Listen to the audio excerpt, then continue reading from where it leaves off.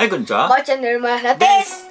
はい今日はですね久しぶりにカブトムシのお話ですね、えー以前ですね人工用室に移したって動画を出したと思うんだけれども、えっ、と残念なことにですね5匹の幼虫のうちうん。4匹がですね羽化不全うん。で、えー残念なことに命を落としてしまいましたね、ちょっとうちらが勉強不足でちゃんと育ててあげることができなかったですね。残念だったね、だけどね1匹だけ、うん。あの無事に生き残りました。はい。はい。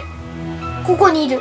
そうこの子ですね、メス。メスのカブトムシが無事成虫になりましたね、よかったね、うん本当にね唯一の希望だよね、うん。僕らにとってはね、本当すごい元気ですね。そう元気なの。名前が姫子だね。はい姫子と言います、うん。女の子なんでね、うすぐ安直だけどすいませんね。はい。はい、で、姫子さんは今どちらに？いらっしゃるのかなお、餌は全部食べきったみたいだね。うんまあこれは今体がね。え、その下にいるのかなここにいますさあじゃんじゃあ、あ、いたいたいたうんいた。この子大変でね。かいですね大きいね。うんうん。で、今は多分寝てますね。寝てる寝てるはい。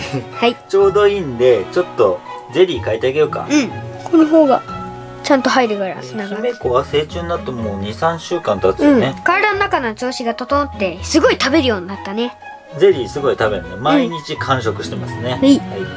じゃあ、閉めてあげようか。ありがとうね。それでですね、うん。エシンくんのお友達のうちに、うん。あのカブトムシがまあ大量にあの羽化したということで、うん。一匹いただきました、はい。それがこちらですね、はい。この子はオス。そうなんです。オスなんですね、はい。で名前は？竹次郎。竹次郎と言います、ん。去年のねあのー、死んじゃったカブトムシは竹蔵という名前だったんだけど、うん、えー、2代目ということで竹次郎ですね。次郎。はい。竹蔵なんかね木の筒の中に入っちゃってるの、これ、うん、ああゼリー。ゼリーまみれになってる。ゼリーまみれ。ちょっとかわいそうだなこれ、うん、外してあげようよ。尻をねツンツンしてね。ツンツンツンツンツンツンツン。あ出てきた出てきた。出てください。ツンツンツンツン。はいお尻出てきました。はい大きいねこの子もね、竹次郎くんでケす。ジロウですね。はい。はいじゃあこの子にもゼリーあげようか、はいうん。入れます。はい。カポ。そして竹次郎くんは元気ですね、うん。竹次郎もお家に来てもう1週間ぐらいになるのかな、うん。で最初はゼリー全然食べなかったんだけど、うん。最近は毎日完食しますね、はい。ということで我が家にはオスとメスのカブトムシ1匹ずついることになりましたね、はい。どうするよ交配させるあーそうだね、来年ちゃんとみんなねうん。羽化できるようにねはい。